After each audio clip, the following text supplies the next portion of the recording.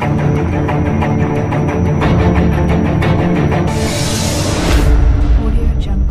Good morning everyone எல்லாருக்கும் வணக்கம். இன்னைக்கு நம்ம நம்ம வீடியோவில் டிஎன்பிஎஸ்சி யூனிட் எயிட்டோட அஃபிஷியல் கொஷின் அனலைசிஸ் பார்க்க போகிறோம் ஸோ வீடியோக்குள்ளே போகிறதுக்கு முன்னாடி TNPSC become active so TNPSC திரும்பவும் பார்த்தீங்க அப்படின்னா வந்து எல்லா எக்ஸாம்ஸையும் ரெசியூம் பண்ண ஸ்டார்ட் பண்ணிட்டாங்க.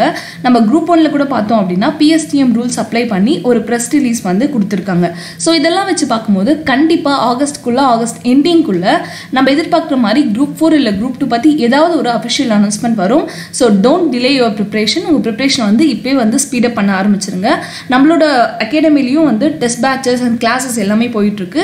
If you want the guidance you can approaches so first thing TNPSC unit eight official question அனலைசிஸில் part three இன்னைக்கு பார்க்க போகிறோம் ஏன்னா already part one part two பார்த்துட்டோம். கீழே டிஸ்கிரிப்ஷன் லிங்கில் வந்து நான் அந்த வீடியோஸோட லிங்க் கொடுத்துருக்கேன். இன்னைக்கு பார்ட் த்ரீ பார்க்க போகிறோம் ஸோ நம்மளோட ஸ்டைலில் பார்த்தோம் அப்படின்னா ஒரு கொஷின் இங்கிலீஷ் தமிழில் பார்த்துருவோம். அப்புறம் அதோட Uh, சோர்சஸ் எங்கேருந்து வந்து அந்த கொஷினோட சோர்ஸ் எடுத்திருக்காங்க அப்படின்றத அனலைஸ் பண்ணி நெக்ஸ்ட் கொஷனுக்கு மூவ் ஆன் ஆகும். ஸோ இதே மாடலில் தான் வந்து இன்னைக்கு பத்து கேள்விகள் பார்க்க போகிறோம் முதல் கேள்வி என்ன அப்படின்னா டேஷ் இரண்டும் தங்கா வியன் உலகம் வானம் வழங்காது எனின். ஸோ இந்த கேள்வியை நம்ம டீகோட் பண்ணோம் அப்படின்னாலே ஓரளவு ஆன்சர்ஸ் வந்து நம்ம கண்டுபிடிச்சிடலாம். அதாவது என்னன்னா டேஷ் இரண்டும் தங்கா அதாவது ஏதோ ஒரு ரெண்டு விஷயம் இந்த உலகத்தில் தங்காது. எப்போனா வானம் வழங்காது எனின். வானம் வந்து மழையை வழங்கவில்லை. ஏன்னா வானத்திலேருந்து நமக்கு வர ஒரே விஷயம் மழை. ஓகேவா லாஜிக்கலாக பேசணும் சயின்டிஃபிக்கலாக பேசணும்னா. வானத்திலேருந்து வரக்கூடிய மழை வரலன்னா எந்த இரண்டும் இந்த வெயில் உலகத்தில் தங்காது அப்படின்றது கேள்வி. தமிழில் பார்ப்போம். ஸோ டேஷ் இரண்டும் தங்கா வியனுலகம் வானம் வழங்காது எனின் அப்படின்னு கொடுத்துருக்காங்க. இல்லை தர்மம் அன்பு தானம் தவம் தவம் இன்பம் அறம் பொருள். இல்லை பார்த்தீங்கன்னா அறம் பொருள் இது ரெண்டுமே வந்து பேசிக்கான விஷயம். இது வந்து இப்படி வந்து கோரிலேட் ஆகாது. ஸோ மொத்தமாக யூஸ் பண்ணுற பா வார்த்தைகள் பார்த்தீங்கன்னா தர்மம் தவம் இந்த வார்த்தைகள் தான் வந்து அடிக்கடி ரிப்பீட் ஆகுது. அதனால மேபி இதுக்குள்ளே ஒன்றா இருக்கலாம் அப்படின்னு நீங்கள் கண்டுபிடிங்க. ஏன்னா கொடுக்குற நாலு ஆப்ஷன்ஸில் வந்து எப்பவுமே ஒன்று வியர்டாக கொடுப்பாங்க. அதாவது சம்மந்தமே இல்லாத மாதிரி ஒன்று கொடுப்பாங்க. அதை ஸ்டைக் அவுட் பண்ணிட்டு எந்த வார்த்தைகள் ரொம்ப ரிப்பீட்டடாக இருக்கோ அதுக்குள்ளே தான் வந்து பதில் இருக்குது இதுதான் வந்து லாஜிக்கலி ப்ரூவனும் கூட. அப்படி பார்த்தோம் அப்படின்னா the answer is B gift and austerities அதாவது தானம் அண்ட் தவம். தானம் தவம் இரண்டும் தங்கா வியனுலகம் வானம் வழங்காது எனின். இப்போ இதோட குரல் சாப்டர்ஸ் பற்றி பார்ப்போம் இது எந்த அதிகாரத்தில் வருது அப்படின்னா இரண்டாம் அதிகாரம் வான் சிறப்பு. ஸோ இந்த வான் சிறப்பு அதிகாரத்திலேருந்து ஆல்ரெடி ஒரு கேள்வி கேட்டிருக்காங்க அப்படின்றதுனால அடுத்த டைமும் இதுலேருந்து கேள்வி கேட்க வாய்ப்புகள் அதிகமாக இருக்குது அதனால இது எல்லாமே வந்து மார்க் பண்ணிக்கோங்க.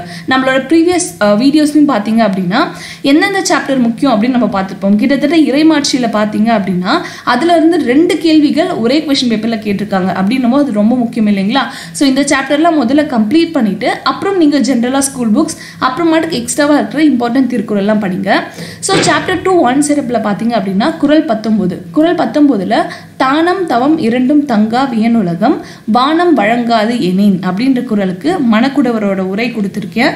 அதே மாதிரி பார்த்தீங்க அப்படின்னா மு. வரதராசன் அவர்களோட உரையும் பாருங்க. மழை பெய்யவில்லை எனால் இந்த பெரிய உலகத்தில் பிறர் பொருட்டு செய்யும் தானமும் தம் பொருட்டு செய்யும் தவமும் இல்லாதாகும். அதாவது மழை இல்லைன்னா மற்றவங்களுக்கு நம்ம தானமும் செய்ய மாட்டோம். நம்ம கடவுளுக்கு செய்ய வேண்டிய தவமும் நம்ம செய்ய மாட்டோம் அப்படின்ற சொல்லியிருக்காங்க.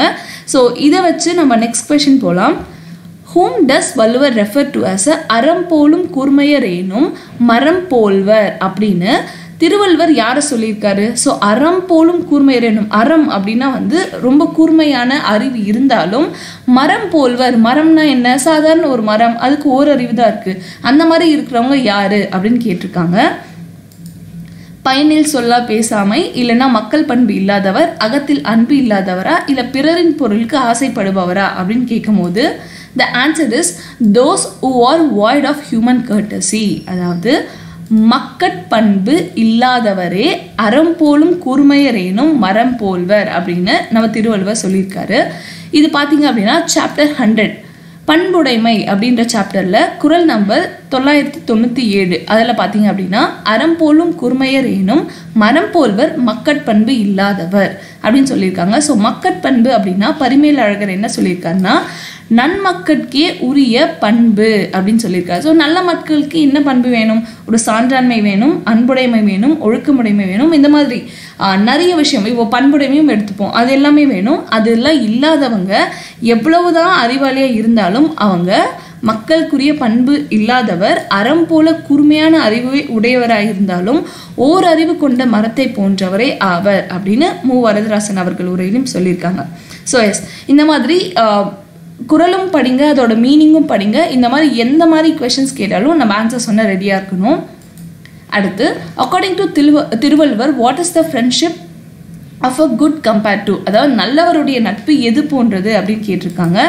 நல்லவருடைய நட்பு பயில்தோறும் பண்புடையாளர் நட்பு நவில்தோறும் நூல் நயம் போன்றது. அதாவது படிக்க படிக்க நமக்கு அறிவு கொடுக்குற நல்ல நூல்களை போன்றது அப்படின்னு சொல்லியிருக்காரு. So having the books that give you perpetual delight இது பார்த்தீங்க அப்படின்னா eight standard Tamil book new Tamil book இருக்கு இல்லைங்களா? அதில் இயல் எட்டு. அதில் நட்பு அப்படின்ற டாபிக் கீழே கொடுத்துருக்காங்க மூணாவது குரல். நவில்தோறும் நூல் நயம் போலும் பயில்தோறும் பண்புடையாளர் தொடர்பு. ஸோ இந்த குரலை அப்படியே கேள்வியாக மாற்றிருக்காங்க நல்ல நூல்களை படிக்க படிக்க இன்பம் தருவது போல பண்புடையவர் நட்பும் பழக பழக இன்பம் தரும் அப்படின்னு சொல்லியிருக்காங்க.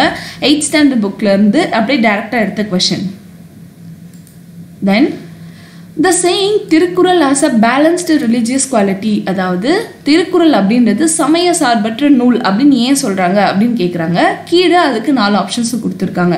அது ஏன் சொல்கிறாங்க எல்லா சமயத்தவருக்கும் இது எம் நூல் அப்படின்ற சிறப்பு உடையது. ஓகே. கடவுள் உண்டு என்பவர் மட்டுமின்றி கடவுள் இல்லை அப்படின்றவரும் வந்து இதை வந்து ஏற்றுக்கொள்கிறாங்க ஃபார் எக்ஸாம்பிள் பார்த்தீங்கன்னா நம்ம பெரியார் அவர்கள் வந்து இதை போற்றி புகழ்கிறாரு அதே மாதிரி இனம் சாதி சமயம் வகுப்பு அப்படின்னு எல்லாத்துக்கும் அப்பாற்பட்டது. ஓகே தென் மனித இனத்திற்கு பொதுவான ஒழுக்கமும் அறிவும் கூறப்படுவதால் திருக்குறள் என்பது சமய நடுநிலை பண்பு கொண்ட நூல் அப்படின்னு சொல்கிறாங்க ஸோ நாலு ஆப்ஷன்ஸில் எது கரெக்டாக வரும் அப்படின்னா நம்ம லாஜிக்கலாக யோசித்தாலே போதும். நம்ம நாலுமே வந்து கரெக்ட் தான். ஏன்னா இதை தான் எல்லா மதத்தவரும் தன்னூல் அப்படின்னு சொல்கிற சிறப்பு இருக்குது கடவுள் இல்லைன்றவங்களும் இந்த நூலை ஏற்றுக்கிறாங்க சாதி சமயம் தான் அப்பாற்பட்ட நூல். மனிதர்களுக்கு நல்ல அறிவும் ஒழுக்கமும் கற்றுத்தர நூல் அப்படின்றதுனால இது நாலுமே திருக்குறளுக்கு பொருந்தும். So all the above is right அடுத்து so who is the author of novel Manal Veedu Manal வீடு அப்படின்ற நூலை எழுதின ஆத்தர் யார் அப்படின்னு கேட்டால் the thing is Anuthama Anuthama அப்படின்றவங்க தான் வந்து மணல் வீடு அப்படின்ற நாவல் எழுதியிருக்காங்க. ஸோ இதோட சோர்ஸ் பார்த்தீங்க அப்படின்னா வந்து புக்கில் எங்கேயுமே கிடையாது. நம்மளோட ஸ்கூல் புக்ஸ் ஃபுல்லாக அனலைஸ் பண்ணியாச்சு. பட் ஸ்டில் இது குரூப் ஒன் அப்படின்றதுனால ஹையர் டிகிரியாக கொஷின்ஸ் கேட்டிருக்காங்க. இதே மாதிரி கொஷின்ஸ் வந்து குரூப் டூ அண்ட் குரூப் ஃபோரில் வர்றது ரொம்ப ரேர் ஸோ நீங்கள் ஸ்கூல் புக் மட்டும் ஃபோக்கஸ் பண்ணீங்க அப்படின்னா கண்டிப்பாக வந்து சக்சீட் பண்ணலாம். So is the author of Manal Veedu அப்படின்னு கேட்டால் அனுத்தமா. மேபி நெக்ஸ்ட் டைம் வந்து இது மேத்ஸ் த ஃபாலோயிங்கில் கேட்டாலும் நம்ம ப்ரிப்பேர்டாக இருக்கணும். அடுத்து which of a following book received Sahitya Akademi award Sahitya Akademi விருது பெற்ற நூல் அதை எழுதினவர் மேலாண்மை பொன்னுசாமி. ஸோ மேலாண்மை பொன்னுசாமி அவர்கள் எழுதின நூல் சாகித்ய அகாடமி விருது பெற்ற நூல் எது? அப்படின்னு நாலு ஆப்ஷன் கொடுத்துருக்காங்க. ஸோ நாலு ஆப்ஷன் அனலைஸ் பண்ணும்போது பார்த்தோம் அப்படின்னா த திங் இஸ் மின்சார பூ. இதுதான் வந்து மேலாண்மை பொன்னுசாமி அவர்கள் எழுதி சாகித்ய அகாதமி விருது பெற்றது. இது எங்கே இருக்குது நம்ம ஸ்கூல் புக்கில் அப்படின்னு கேட்டிங்கன்னா நைன்த் ஸ்டாண்டர்ட் தமிழ் புக்கில் பேஜ் நம்பர் ஒன் நைன்டி ஃபைவ்ல இருக்குது ஸோ சி மேலாண்மை பொன்னுசுவாமி அவர்கள் எழுதி ரெண்டாயிரத்தி எட்டில் மின்சார பூ அப்படின்ற சிறுகதைகள் நூலுக்கு சாகித்ய அகாடமி விருது கிடைச்சது. நம்ம ஆல்ரெடி ஒரு சிறு இசை வண்ணதாசன் அப்படின்றத ஃபர்ஸ்ட் கொஸ்டின்லேயே பார்த்துருக்கோம். ஒரு ரெண்டு வீடியோவுக்கு முன்னாடி. அதே மாதிரி பார்த்தீங்கன்னா அந்த பேஜ்லேருந்து அதே சோர்ஸ்லேருந்து இன்னொரு கேள்வியும் கேட்டிருக்காங்க. பாருங்கள் ஒரு சின்ன பாக்ஸ் அந்த பாக்ஸ்லேருந்து பார்த்தீங்கன்னா ரெண்டு கேள்வி நாலு மார்க் வந்து நம்ம ஸ்கோர் பண்ணுறோம் இந்த மாதிரி சாகித்ய அகாதமி விருது பெற்ற நூல்களோட லிஸ்டிங் இருக்குது ஸோ அதோட வருஷத்தை அட்லீஸ்ட் நம்ம மனப்பாடம் பண்ணலனாலும் நூலும் அதோட ஆசிரியரும் நமக்கு கண்டிப்பாக மனப்பாடம் பண்ணி ஆகணும் ஏன்னா இந்த பார்ட்லேருந்து அடுத்த ஒரு கேள்வி கேட்க மாட்டாங்க அப்படின்றதுக்கு எந்த ஒரு இதுவுமே கிடையாது. கண்டிப்பாக கேட்பாங்க. ஸோ நைன்த் ஸ்டாண்டர்ட் தமிழ் புக்கில் நியூ தமிழ் புக்கில் பேஜ் நம்பர் ஒன் நைன்டி ஃபைவ்ல இருக்குது மார்க் பண்ணிக்கோங்க. அடுத்து who wrote the poem that as அன்பு சிவம் இரண்டென்பர் அறிவில்லார்? அதாவது அன்பு வேற சிவம் வேற அப்படின்னு சொல்றவங்க அறிவில்லாதவங்க அப்படின்னு சொல்றது யாரு அப்படின்னா திருமூலர் அவர்கள். திருமூலர் அவர்கள் தான் அன்பு சிவம் இரண்டென்பர் அறிவில்லார் அப்படின்ற சொல்லியிருக்காரு. ஸோ இது பார்த்தீங்கன்னா நம்ம போயம்ஸ் எல்லாம் படிக்கும்போது பக்தி லிட்ரேச்சர்லாம் படிக்கும்போது எங்கேயாவது ஒரு இடத்துல தான் பார்ப்போம். இதை ரொம்ப டீப்பாக படிக்கணும்னாலும் ஜஸ்ட் இதை நம்ம தெரிஞ்சு வச்சுப்போம். அன்பு சிவம் இரண்டென்பர் அறிவில்லார் அப்படின்னு சொன்னவர் யாருன்னா திருமூலர். அடுத்து which of a following epic describe the significance of Tamilar music தமிழர்களோட இசைக்கலையை பற்றி பெருமிதமாக அதோட உண்மைகளை வந்து எடுத்துரைத்த நூல் எது அப்படின்னு நாலு நூல் கொடுத்துருக்காங்க. இதில் நம்ம சூஸ் பண்ணோம் அப்படின்னா end of the day the answer is Silappathikaram. Why Silappathikaram அப்படின்னா புக்லேயே டேரெக்டாக கொடுத்துருக்காங்க. Eight standard Tamil book term டூவில் பார்த்தீங்க அப்படின்னா வெவ்வேறு வகையான இசை கருவிகளை பற்றி தமிழரோட இசை கருவிகளை பற்றி பேசியிருக்காங்க. அதில் பார்த்தோம் அப்படின்னா சிலப்பதிகாரத்தில் இதுவரை முப்பத்தாறு வகையான முரசுகள் வந்து தமிழகத்தில் இருந்திருக்கு பண்டைய தமிழகத்தில் இருந்திருக்கு. அதோட சிறப்பு அதை பற்றி எல்லாமே சிலப்பதிகாரம் குறிப்பிட்டிருக்கு அப்படின்னு சொல்லியிருக்காங்க. அதை பேஸ் பண்ணி கொடுத்துருக்குற ஆப்ஷன்ஸில் த பெஸ்ட் அப்படின்னா நம்ம சிலப்பதிகாரம் சூஸ் பண்ணுறோம் ஸோ இது வந்து எயிட் ஸ்டாண்டர்ட் நியூ தமிழ் புக்கில் டேர்ம் டூவில் வந்து தமிழரின் இசைக்கலைகள் அப்படின்ற டாபிக் கீழே இது இருக்குது ஓகே நோட் பண்ணிக்கோங்க. Then who among the four Nayanmar made his heart the temple of lord Siva so இந்த கதையை வந்து நம்ம நிறைய பேர் கேட்டிருப்போம். ராஜராஜ சோழன் அவர்கள் கோவில் கட்டி சிவனுக்காக வந்து தஞ்சை பெரிய கோயில் கட்டி சிவனை வந்து வழிபடுவார். என்னோட கோவில் கும்பாபிஷேகத்துக்கு நீங்கள் வாங்க அப்படின்னு அவர் வழிபடும் போது அவர் வந்து ராஜாவோட கனவுல போய் சொல்வார் இல்லை நாளைக்கு வந்து உங்களை விட ஒரு பெரிய பிரம்மாண்டமான கோயில் ஒருத்தர் கட்டியிருக்காரு. அந்த அது அந்த கும்பாபிஷேகம் இருக்கு இல்லைங்களா? அதுக்கு தான் நான் போவேன் அப்படின்னு வந்து சிவனும் அவரோட கனவுல சொல்றாரு.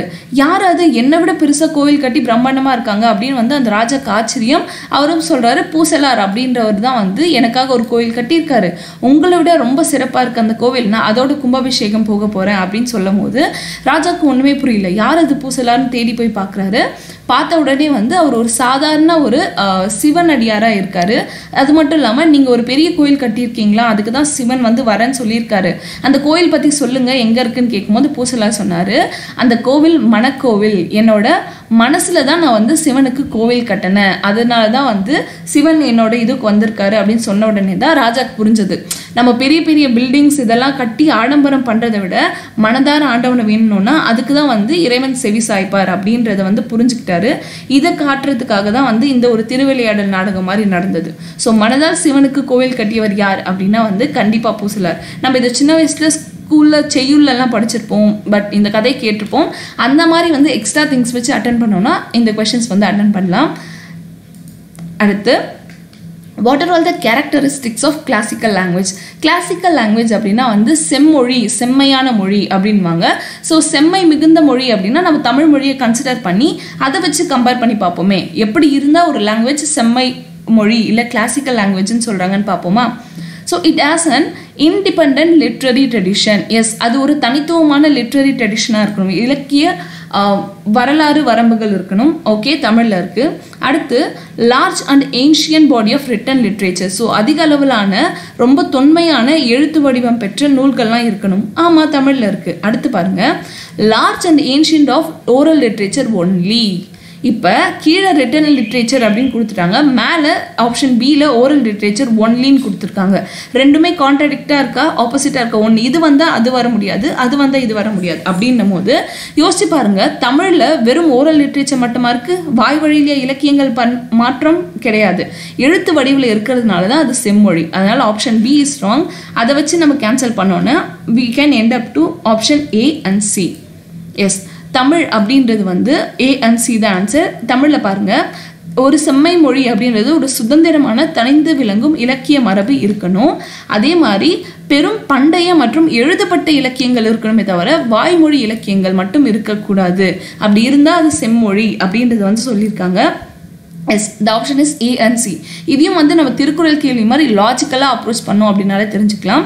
அதே மாதிரி தெரிஞ்சுக்கோங்க த ஒன்லி அண்ட் போத் இந்த மாதிரி வார்த்தைகள்லாம் வரும்போது அங்கே நமக்கு ட்ரிக்ஸ் இருக்குது அப்படின்றத தெரிஞ்சு அதை ப்ராப்பராக நம்ம ஓவர் கம் பண்ணாலே நம்ம வந்து uh, பிளைண்டாக வந்து மிஸ்டேக்ஸ் பண்ண மாட்டோம். அஞ்சுலேருந்து uh, ஒரு ஏழு கொஷின் வரையும் நம்ம வந்து ரீடைன் பண்ணி மார்க் வாங்கலாம்.